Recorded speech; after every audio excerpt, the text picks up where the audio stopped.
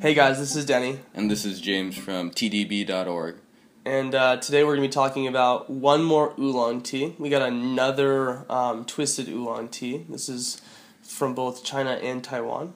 Yep. And this is absolutely one of my favorite teas that I've drank um, very recently.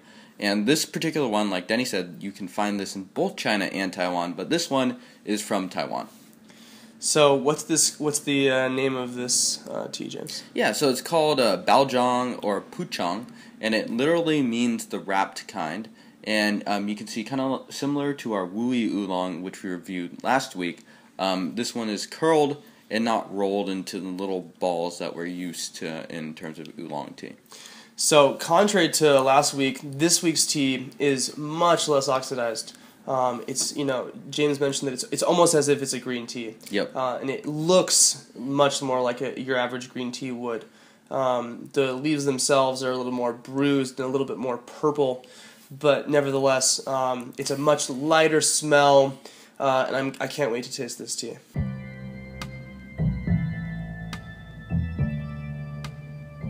So, how much tea did you weigh out here, James? Yeah, so this is um, five grams of tea for a 100 milliliter um, gaiwan, and it's a little bit, it might seem like a lot of leaves, but it's actually a little bit less than we used for our Wuyi Oolong. And the reason being that this tea is a little bit more delicate and light. So um, we want to treat it um, differently as a result. Cool. And again, we're just going to be using slightly under boiling water temperature tea. Uh, water, other, Excuse me. Um, and how long are you going to steep this for? Yeah, so the first steep will be for about 30 seconds, and we will adjust from there. Cool. And you'll see that the rinse very, very light, similar to kind of our Tie Guanyin rinse. Almost like a white tea color. And oh my gosh, the vibrance of the color itself, just looking at the rinse, is incredible. I cannot wait to taste this, and it, it, it's got a very rich, um, uh, floral, sweet, uh, crisp smell already. Um, I'm totally excited. Beautiful looking. One of the most beautiful teas I've seen. So, we're going to do this for 30 seconds. Yep. Cool.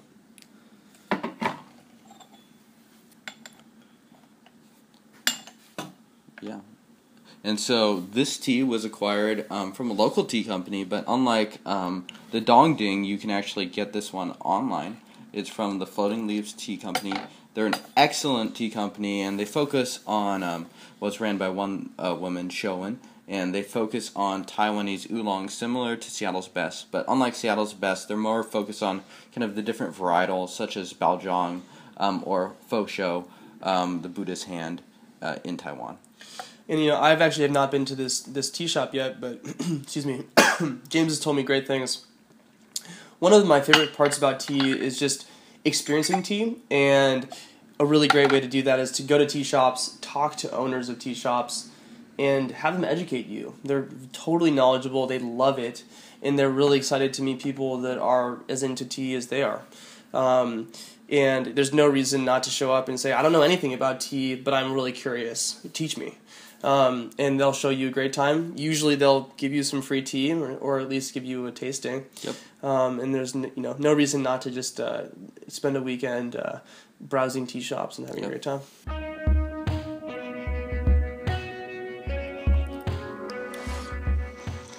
Oh, you know, even though this is a very delicate flavored tea, the actual flavor itself is very striking. Um, it's not it's not at all overly bitter. So the Wuyi that we had uh, last week or last episode, it wasn't too bitter, but it was definitely bitter. Um, and this is oh, it's sweet. It's um, maybe a little bit grassy. Yeah, Um, you get somewhat of that vegetal filling, and it's a very. This tea is very famous for having a very clean filling in the mouth, ugh. and um, Absolutely. I absolutely get that. I think that this is brewed perfectly. I could easily imagine this tea being overbrewed. Again, this kind of method of tea uh, brewing, if you're going to brew this amount of tea leaves with that hot of water for three minutes, just don't do it. It's gonna it, it's not gonna ruin the tea, but it's not gonna be nearly as delicious. Yeah. It tastes really strong. You're not going to get a lot of that nuance and subtlety and light floralness that we're getting out of this tea right now. Ugh. This is wonderful. So, how many times can you uh, brew this tea, James? Um, you know, uh, lighter teas you tend to not be able to brew for as many times, but I would say this tea you could probably go. It's a very high quality tea, um, for maybe eight times. Nice. Slowly increasing the time, I'd say something by ten or fifteen seconds each steeping. Oh, I could just drink this all day. This is the kind of tea that I would have and and have it by itself without any food, um, and then go and like write somewhere or or oh, maybe this would be really good iced. I bet. Yeah, I bet it would. Definitely for me, an afternoon tea. Um, everyone loves their tea at different times and for different reasons. So go ahead and whatever you like. Um, but this is wonderful. Oh, I'm gonna have to go to this tea shop soon. Very cool. Yep.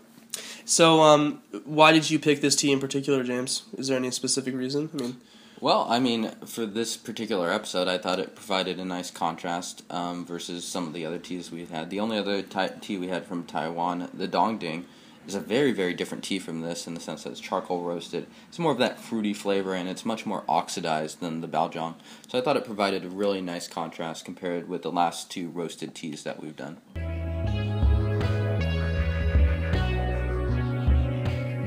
You know, one tip I would say for people that are just getting into tea tasting and trying different types of tea is um, to go ahead and just order small amounts of tea and, and order lots of tea. Yep. Um, why not? You know, it's it's not very expensive. You're going to realize quickly that you're going to maybe spend a, f- a little bit of money up front, but it's going to last you for a long time. So you'll order a bunch of different types of tea. You'll like two or three different varieties, and then next time you order, go ahead and just order a whole bunch. Yep, and one thing to note is that for some of these teas that are greener in nature, such as the Baozhong or the Tie Guan Yin that we did episode one, they don't keep as well as stuff like the Wuyi Oolong, which was actually picked in 2011. Um, and some people prefer the taste of those aged actually, but teas like this, they're definitely going to lose. They're not going to go bad per se, but they're going to get a little bit more stale and lose a lot of their flavor if you wait too long to drink them. So buying in small quantities, especially for a tea like this, I would absolutely recommend. There's a excuse me. There's a certain crispness and freshness to this tea that is really wonderful, um, Yeah. and it definitely is seasonal. So, Yep. you know, tea is a is a plant, and like any plant, it, it thrives in certain conditions and certain temperatures, and um, conserves energy uh, and doesn't grow as much in other times. So Yep. that does affect the flavor. Yep, and this is a winter tea, so like Denny su- suggested, it was it's very very freshly picked. It was picked in the winter of 2012, so this tea has only been picked two or three months ago, really. And it's so wonderful. Ugh. I'm I'm I'm totally loving this tea. I'm gonna have to get some of this. And one thing you could actually do to uh, extend the longevity of some teas is to actually roast them yourself. Um, for instance, if you weren't able to finish all of this tea early on, or for some reason you just didn't like the flavors of it, which I can't even imagine for a tea like this. But if that were the case, you can roast it yourself. And how would you go about doing that? We'll probably include some information down the line on teadb.org. But, um, you know, it's really not as complicated as it needs to be. Um, and it can be as simple as uh, using the burners or a candle or something like that to just kind of provide that light roast to allow your tea to age properly. Cool. Excellent. So we're in our third steeping now. How do you think the tea itself has evolved in terms of flavor?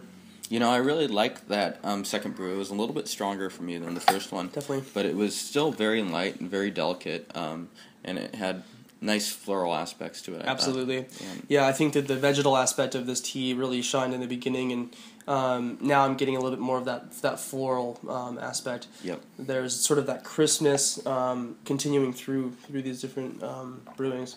One other great thing about this tea is, like James had mentioned, the the mouthfeel of this tea is wonderful. It's it's it's thin. It's light. Um, doesn't feel like I'm drinking something thick. You could compare in, on an extreme view the the textural experience of drinking something like milk or soy milk or almond milk versus water. Well, one's a very thick feeling in your mouth, and the other one's much more clean and crisp. But interestingly, all we're doing is just drinking water with tea leaves in it, right? and yet somehow there's still that reflection of the actual mouthfeel of this tea. Um, and I, I'm totally loving this. It's it's very thin but very full bodied. And you actually, uh, for this tea, I'm actually getting a little bit stronger, creamy, um, buttery aspects out of it. Wow, this is, might have to be my favorite to date so far. Yeah, I think it's an excellent tea, and you guys should all check out uh, the Floating Leaves. Um, Shiuwen is fantastic, and she also provides a great resource in her blog. And I've I've learned a lot personally from reading her blog and speaking to her in person. Yeah, I mean, one of the coolest parts about local tea shops is that the people that that are there to um, help you usually own the tea shop. And it's such a cool way to connect with people. Um, just being curious, again, like I mentioned earlier, is a, is a great way to meet people in, in anything that you're doing, um, especially with tea. So uh, go out there, meet people, be excited, um, say you don't know a lot, and just drink a lot of tea. See what you like. Yeah. Um, okay, so James, where can people learn more about this tea? Um, so this tea, you can definitely visit our website at teadb.org and look up kind of a lot about how to brew this tea, um, where you can buy it, um, kind of what the different history of it is, um, which is all interesting stuff. And you can also um, actually just buy this tea at thefloatingleaves.com or floatingleaves.com rather. Um, they run a great website and uh, and they have a lot of fantastic teas beyond just this one. Great. So this wraps up our fourth um, oolong tea in our little um, intro oolong series. What are we doing next? Yeah, I think we're moving on to pu'er next, so that's very exciting. Cool. So very different, completely different um, uh, mouthfeel, taste, processing, all the same plant Camellia sinensis. But uh, stay tuned next time, and we'll talk about some pu'er tea. Yep. Thanks for watching, guys. Cheers.